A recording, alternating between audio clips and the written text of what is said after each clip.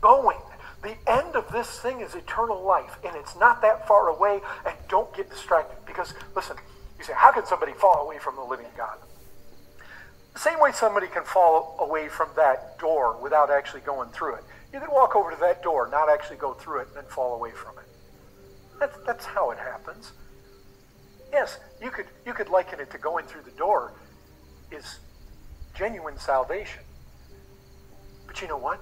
My eye cannot discern, and your eye cannot discern whether people are on this side of the door or that side of the door. But what our eye does discern is we watch people Wait, fall away from wait a that. second. Okay, It- he says my your eye can't discern who's on what side of the door. He's saying that you could walk up to the door and then fall away before you go through the door. So who are the people that are on the other side of the door? You're putting yourself on the wrong side of the door, are you not? that door. Now, it may prove whether they were God's house or not, your God's house, if you hold fast your confidence to the end. But we haven't reached the end Well, then who's on the other side of the door if we haven't reached the end yet?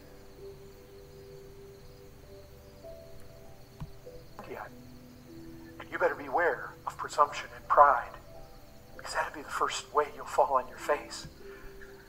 Brethren, our confidence, our confidence is in our God. That is where we need to be.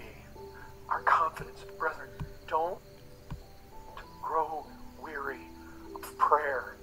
That's one of the hardest things. Uh, all right, don't go. Okay, all right, whatever. Uh, so uh, Tim Conway. The, this is interesting. Uh, the Tim Conway I know and the the Tim Conway I love. It's this guy right here. I'm not sure if uh, you know most of you are old enough to remember this fella. He's silly. There's no two ways about it. The guy is just straight silly. Well, you could say this guy's pretty silly too, right? So let's read the description here. It says, You may have started the Christian race incredibly well, but Jesus teaches that you must endure to the end to be saved. All right, well, is that true? Must endure. Jesus teaches that you must endure to the end. It's not there. Well, why are these guys lying? I, I'm not sure. I, I'd have to do a big study to figure that out, wouldn't I? Cause I, and I don't even care, cause he doesn't teach that. So I'm not gonna try to figure out every single error that these guys have. You got three mentions, three basic mentions of enduring to the end in Matthew 10, Matthew 24, and Mark 13. And you know, Matthew 24, Mark 13 are parallel chapters. Okay, and so Mark 4 would be uh, representative of what he's trying to teach, but he obviously doesn't understand it, right? So, in Mark 4, it talks about how, how they don't have any root in themselves, so endure but for a time. Afterward, when affliction and persecution arises for the world's sake, immediately they are offended. All right, so um, in other words, uh, they don't fully trust the Lord Jesus Christ. They they hear the gospel, and uh, they pretend to be converted, but then fall right back into the world because they don't have any root in them. Which basically means they don't they don't believe. They, they were given all the information, they received it, and then they rejected it for the world's sake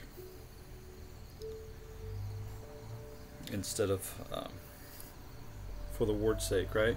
So, Matthew 10, Matthew 24, Mark 13. This is what he's talking about. This is what Tim Conway is talking about. Oops, wrong Tim Conway. That's what this Tim, Tim Conway, I mean, it might as well be this Tim Conway. This is what he's teaching. That Jesus, he's saying that Jesus teaches that we must endure to the end. And so you don't even have to believe in Jesus, you just have to endure to the end, or you have to believe and endure. Well, let's use that standard that this liar is setting for everybody. He, he's not setting them for, for himself. He's putting this on everybody else, and let's find out exactly how big of a lie this liar is. All right, this big lie. Boy, it just boils my blood. I'm not kidding All right, first of all, I got to settle down here. So, you got to endure to the end. Well, that's not what it says in Matthew 10. And ye shall be hated of all men for my name's sake, but he that endureth to the end shall be saved. It does, it does not say you must endure to be saved. It says, he that endures to the end shall be saved. All right, this is uh, very clearly talking about people being saved all the way up until the end because the context is the world is going to get tough. It's going to get rough. It's going to get hard. And we can take confidence knowing that men will still be women, people will still be getting saved all the way until the end. So uh, keep preaching the gospel of Jesus Christ. Keep going in your faith in Jesus Christ and help others when you can to also believe in the Lord Jesus Christ as you believe in the Lord Jesus Christ. This it's going to get rough, it's going to get tough, but if we keep going, keep per- persevering, we might save we might help save a few lost souls all the way until the end time. So Matthew 24, but he that shall endure unto the end, the same shall be saved. So, all these things that Jesus is talking about in regards to the end time, because that's what he's asked in Matthew 24, Mark 13, what shall be the sign of thy coming and of the end of the world? And Jesus spells that all out. He gives, he lists all that out, right? So, we're going to have to endure all these hardships, if you will, all these tough goings right? But people will still be getting saved all the way to the end. All right, same thing with Matthew or Mark 13. And ye shall be hated of all men for my name's sake, but he that shall endure unto the end, the same shall be saved. Nowhere in those three mentions is it talking about you must endure, otherwise you're not going to be saved. I mean, you were saved and then not saved, and then um, what do you do after you're saved and then unsaved? How do you get saved again? I mean, if Jesus couldn't do it, who's going to save you? Right? It's, I mean, it's absolute utter nonsense. All right, and um, I think it would be important to mention John six: labor not for the meat which perishes, but for that meat which endures unto everlasting life which the Son of Man shall give unto you, for him has God the Father sealed. Alright, so if you are saved, you are sealed. Right? Now, keep that in mind. Alright, and so let's go, let's go, let's start here, because I want to show how big of a lie this lie is. Let's go. First of all, um, do a word search for watch hour. Okay. Matthew 24 Watch therefore, for ye know not what hour your Lord does come. Watch, therefore, Matthew 25. Watch, therefore, for ye know neither the day nor the hour wherein the Son of Man comes. Matthew 26. And he comes unto the disciples and finds them asleep, and saith unto Peter, What? Could ye not watch with me one hour? Alright, so think about this. Let's go to that chapter. Alright.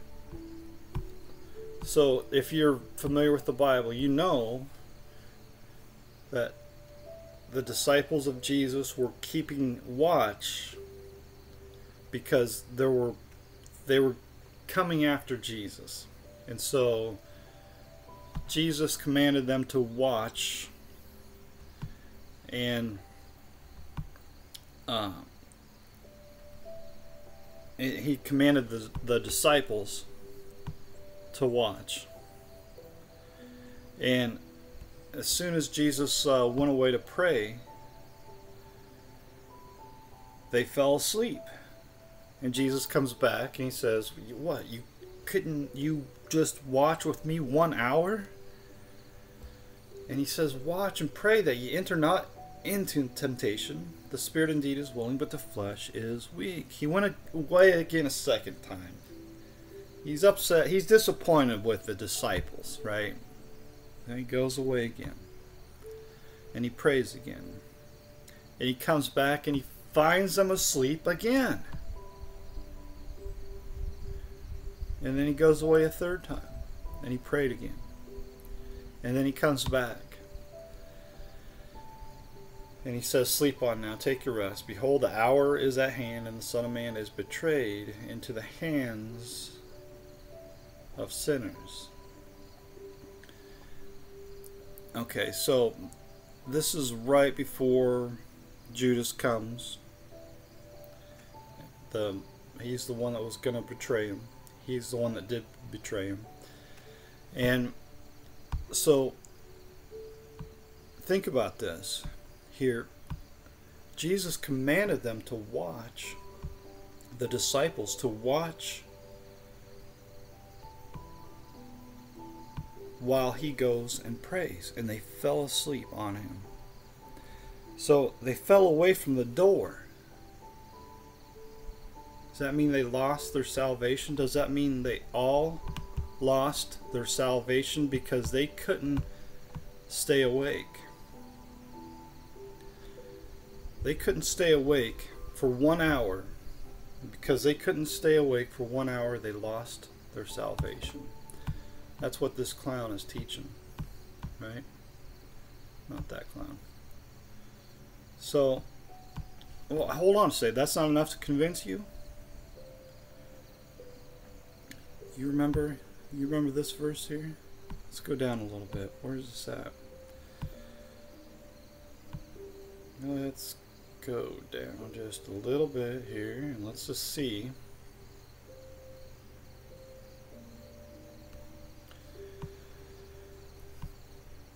Let's start here at 69. Now Peter sat without in the palace, and a damsel came unto him, saying, Thou also was with Jesus of Galilee. But Peter denied before them all, saying, I know not what thou sayest. And another maid saw him, and said, This fellow was also with Jesus of Nazareth. And again, Peter, with an oath, he swore, I do not know the man. And after a while, there was another. And Peter began to curse and swear, saying, I know not the man. And immediately the cock crew. Think about that. So Peter is he's adamant that he does not know Jesus Christ. You think he all he lost his salvation right there? Is that what you're teaching? Peter was not saved, but you're saved. You're better than Peter. Is that what you're teaching? Sounds like it, doesn't it? So think about that. And then Peter remembered the words of Jesus and he went out and wept bitterly. There was, see, there was consequence to what he'd done, wasn't there? He wept bitterly, felt tremendous sorrow because he knew he screwed up. I mean, without the grace of God, what are we? We got no chance. These guys here, they are grace haters. They absolutely despise the grace of God. There is no mercy, there is no grace. You must endure to the end. All right, now hold hold on a second, because it gets worse than this. All right, so let's. Uh, I think we have to go to the next chapter. Let's see if I can do this here. Oh, I'm going to show you somebody else that apparently wasn't saved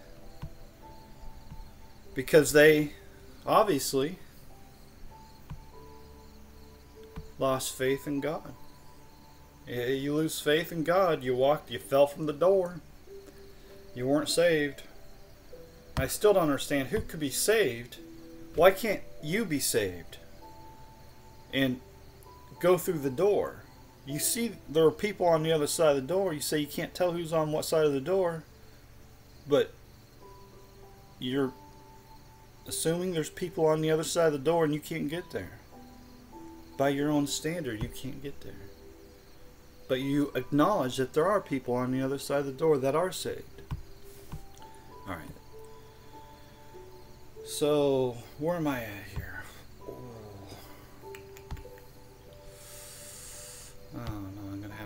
Now it's got to be right about here. Alright, they're mocking Jesus. He's on the cross. The thieves also.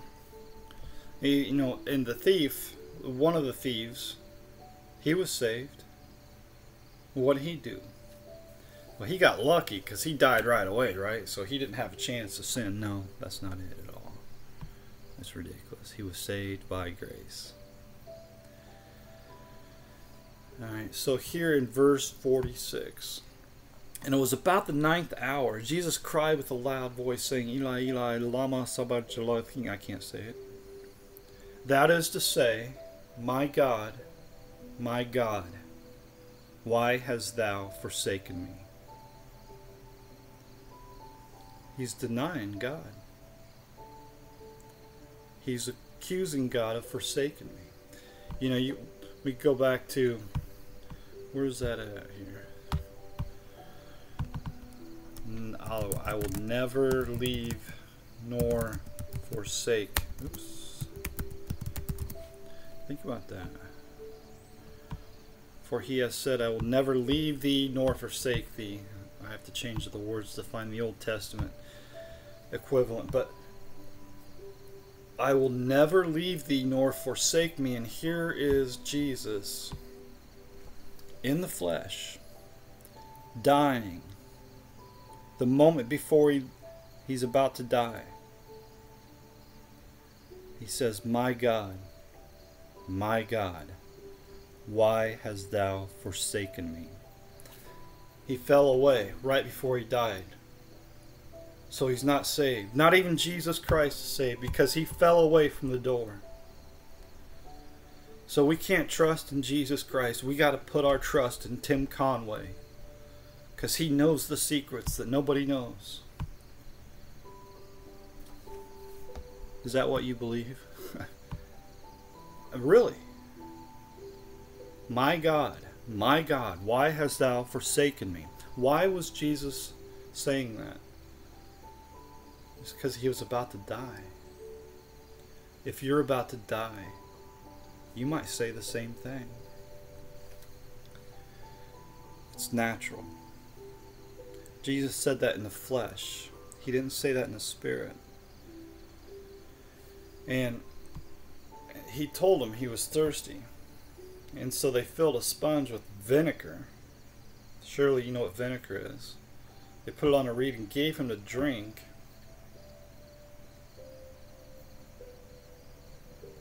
And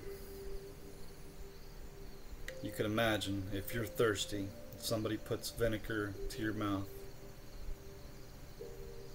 uh, you're probably going to lose it. And uh, Jesus lost it. He yielded up the ghost. He died right there, right? Now, according to this clown, not this clown, this clown, you must endure to the end. Jesus couldn't, he was almost there, man. He, doggone it, just about had it. And then he lost faith in God at the very last moment because he was dying. Because he was a moment away from dying. He lost it. He fell back away from the door. He never quite made it. But good old Tim Conway, man, he's going to save us. Maintain. That is one of the hardest things to battle through. See that with your eyes, which they saw, which cannot be seen. See the realities. We have a God in heaven, a God who is the Father of lights and who rejoices in giving to us. We have a, a Savior who spent his blood to redeem us. You can't see justification. I can't see it. You can't see that blood. But you know what? We live on promises. If they had been thinking of the land from which they had gone out, they would have had opportunity to return. Don't walk away from the door. Go through it all the way. Go through. How do you know if you're in or out? Well, I'll tell you this it's going to be persevering. It's going to not be falling away. It's not going to be giving yourself to. All right, so Peter denied Jesus three times. Jesus himself said, Why, my God, my God, why hast thou forsaken me? So that wasn't good enough. So what's good enough? To some kind of drift that takes you off, or some kind of error that takes you away, taking your. An error can take you away from the promise of God. Your eyes off of Christ. Taking your eyes off of Christ, just like Peter, right? I mean, he not only denied Jesus, he was cursing, using foul language, and swearing. This excerpt is taken from the full sermon, Keep Going, by Tim Conway. Well, yeah, I'll be honest with you. So you can trust Tim Conway. Can't trust Jesus because he just didn't make it to the end. You must, but Jesus teaches that you must endure to the end to be saved. And no, that's not in the Bible, so I can't trust the Bible. But Tim Conway, this clown, he says it, so it must be true, right? Uh, seriously. My God, my God, why hast thou forsaken me? Jesus didn't make it to the door, according to Tim Conway. You gonna believe this guy? I mean, how are you gonna be saved? He's saying that the blood of Jesus was not enough to save you. That you have to endure. No, no, no. You must endure to the end to be saved. If you don't endure all the way to the end. It's not close to the end, it's all the way to the end. And if, did Jesus endure all the way to his death? My God, my God, why hast thou forsaken me? According to this guy's standard, Jesus didn't make it. The disciples of Jesus Christ didn't make it. So they couldn't stay awake. For one hour, they couldn't stay awake. They couldn't make it all the way to the end. But Tim Conway, boy oh boy, he better hope he makes it all the way to the end. Huh? It's hard to say what's going to happen in the future. You really don't know from one day to the next what's going to happen. You really don't know. And how can you have confidence in Jesus Christ if you're not sure that you're going to be saved? What happens if you're in an accident and you suffer severe brain damage? And your mind goes back to that time before you were saved. When you were st- still in your sins. What happens then? You permanently unsaved? So Jesus never really saved you, did he? If at any moment you could lose your salvation, then he's never really saved you at all, did he? But is that what the Bible teaches? Seriously. Let's oh let's go uh, let's go here, let's make this easy, right? Let's make this easy. Now there are there's a lot of verses I'd like to share. You know, where where sin abounds, grace abounds more. Now, if you want to argue, listen. You want to argue that it's wrong to sin? I'm with you all the way. It's never okay to sin. It's always wrong to sin. You should never sin. I completely agree with that. It's wrong to sin. It. It's like it's wrong to not deny the Lord Jesus Christ. And what happened when Peter realized he was denying the Lord Jesus Christ? He broke down and wept bitterly. Right? And so, also, um, uh, what's that? What is that verse here? I can't spell that. For whom the Lord loveth, for whom the Lord loves, he chastens and scourges every son whom he receives.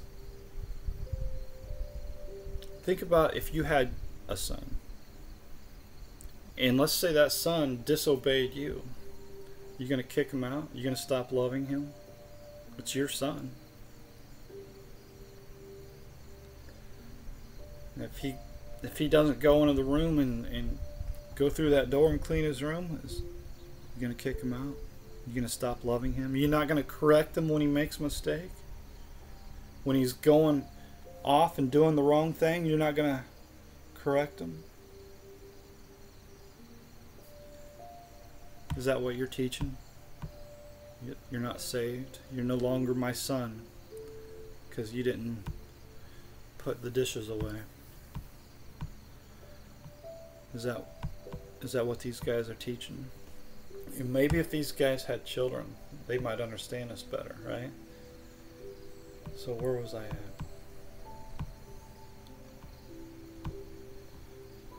So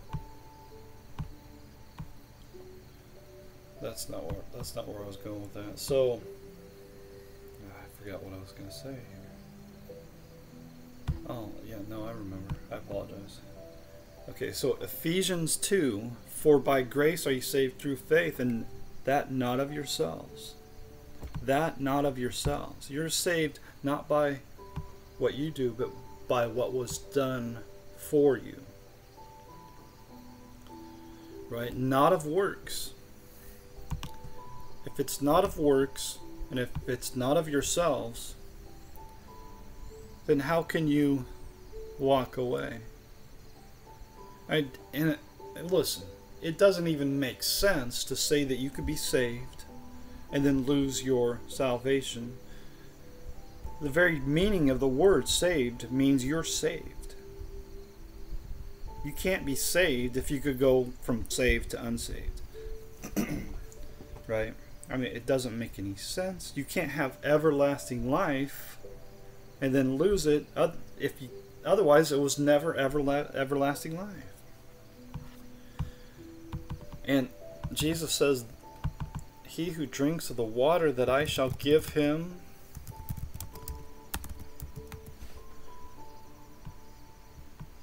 shall be in him.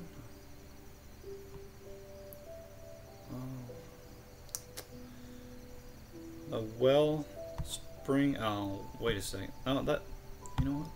That's not the same.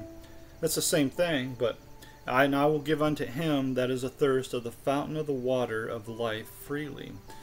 Jesus says, now this is Jesus, right? I am Alpha and Omega, the beginning and the end, the Almighty. Jesus is Almighty God. So, um, let's go this way. This is the first John. No. Wow. Apparently, I don't know the Bible at all. What is that? Um, let's do it this way. There we go. Let's go all the way here. Whoso drinks, uh, whosoever drinks of this water shall thirst again, but whosoever drinks of the water that I shall give him shall never thirst. But the water that I shall give him shall be in him, in him, a well of water springing up into everlasting life. All right, so this water, once it's in you, how how are you going to get this water out of you? If it's springing up into everlasting life, ah, you know what, Tim, I'm sorry, buddy, but once you're saved, you're stuck. And if you're teaching, you can't be it, you can't be um, if, if you're teaching you can lose your salvation you're not saved at all. And this, so this has to be an example of somebody that is a false teacher. Somebody who is a wolf in sheep's clothing. Somebody who is a child of the devil and he's coming after the children of God He's coming after your children. Now you can lay the blame on Satan, but God's going to lay the blame on Tim Conway because he's the one doing it. All right, and you can explain to God how it's not you, it's Satan that's deceived you. But that's the choice that Tim Conway made. And this sermon that he's teaching is a choice that he has made. You blame somebody else but it falls on him, just as it falls on you for what you teach. And one more thing that I want to point out here. Let's see if I can figure out this. Um, uh, let's do it this way. One, um, this is going to be my last point right here. Jesus says, You have not chosen me. Oh boy. Let's see if I can figure this one out. Let's see. Um, Behold, my servant whom I have chosen, my beloved, in whom my soul is well pleased. I will put my spirit upon him, and he shall show judgment to the Gentiles. For many are called, but few are chosen. So think about that. Is God choosing you or are you choosing God? And if you got to endure to the end, it's your choice. But if you are chosen of God, you can relax. You can have peace. You can have comfort knowing that you are sealed and sanctified forever. Alright, there's many examples of this. For the elect's sake, whom he has chosen. Again, this is believers in Jesus Christ. Don't let deceivers deceive you. Okay, let's go to. Uh, I have not I chosen you twelve, and one of you is a devil. Hmm. I know whom I have chosen. You have not chosen me, but I have chosen you and ordained you that you should go forth and bring forth fruit. Right? So, again, Jesus chooses us. Jesus is God Almighty. If Jesus doesn't choose you, you're in trouble. And once, but once He does choose you, you're on the right side of the door forever. You're stuck. sorry about that, buddy, but you are stuck, Chuck. There's no way to get back from that door. Once you cross the line, buddy, that's it. Sorry, you're saved forever. Sucks to be you, huh? Saved forever. Can't squirm your way out of this one because Jesus has chosen you. Now you're stuck. Can't get out of his hands.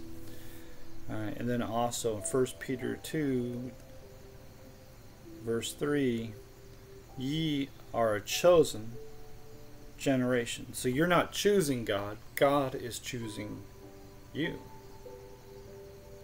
If you believe salvation is based on the choice that you make, burn, that's wrong, buddy. See, so if you're an unbeliever, you can believe in the Lord Jesus Christ. You can pray, you can confess, you can do all that. You can beg God to come into your heart, to change your heart.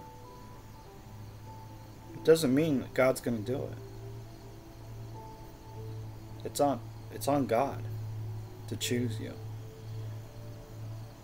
And you're at his mercy. But it is the grace of God that you might be saved. And if you truly do believe in the Lord Jesus Christ, you truly do call upon the name of the Lord, He's promised that He will have mercy on you and He will save your soul. God knows your heart better than you know your heart. So, as an individual, all you can do is trust in the Lord Jesus Christ. Put yourself in His hands. You can't save yourself, no matter what. No matter what. You're 100% at the mercy of God. He's in control and not you. And thank God for that because, I mean, really, the reason why I came to the Lord Jesus Christ, why I turned from my the life that I was living. I knew there was something wrong with this world. And I knew there was something wrong with my heart. It took a long time for me. I'm not as smart as most people, but it took a long time for me, and I finally realized that Jesus is the Christ, that He's the only one that can save me. God knows I can't save myself. I'm not going to make it. I'm not going to be able to do it on my own, and it's not even going to be close. I'm 100% at the mercy of God. I've got no chance without God. So this idea that you have to endure to the end, if that were true, I, I got no chance, man. I can't do it. Yeah, I mean, come on. Since I become a believer, I'm changed. No question about it. I have the Spirit of God in me. There's no denying that. But that's not because I'm changed. That's not going to save me because God changed me. It's because of God that I'm saved. And thank God for that.